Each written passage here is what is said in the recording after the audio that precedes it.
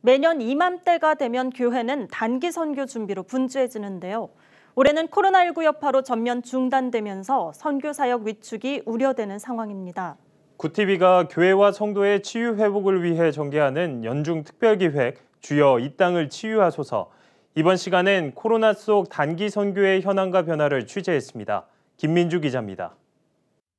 매년 이맘때면 한국교회는 해외로 단기 선교를 다녀왔습니다.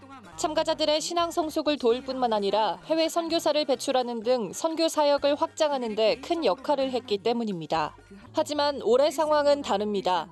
코로나19가 국내는 물론이고 선교지인 해외로 확산하면서 단기 선교는커녕 교회 내 소모임조차 할 수 없게 된 전례 없는 위기를 맞은 겁니다. 때문에 올해 단기 선교나 비전 트립을 계획했던 교회들은 일정을 기약 없이 미루거나 대부분 취소했습니다. 한 세 번 정도 계획하고 있었거든요. 다 취소가 됐죠 단기 선교회. 일단 선교사님들 입장에서 저희가 단기팀과 함께 사역했던 계획들이 다 취소가 되면서 좀, 좀 아쉬워하고 계시고.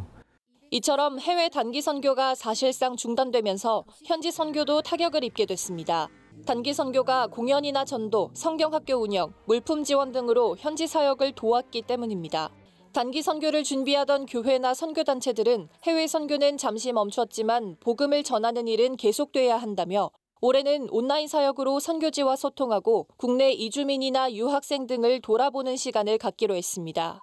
이미 우리나라에도 197개국에서 온 이주민들 250만 명이 살아가고 있거든요. 한 나라 안에서 문화의 경계를 넘어가는 일들이 어, 좀 필요하다고 생각이 들어요.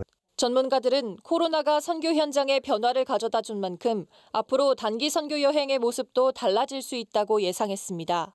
랜선 vision trip과 같이 직접 선교지에 가지 않아도 인터넷과 SNS를 통해 온라인 사역이 이뤄지고 대규모 인원이 떠나는 일회성 vision trip보다는 미용이나 의료, 구제, 직업교육과 같은 특정 목적을 가진 소수의 단기 방문 사역이 더 활발해질 것으로 내다봤습니다.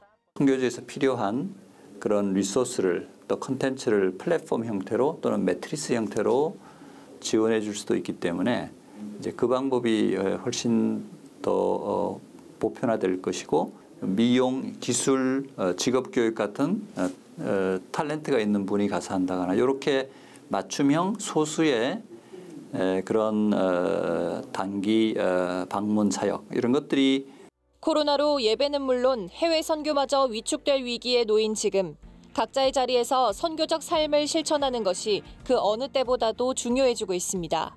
구티비 뉴스 김민주입니다.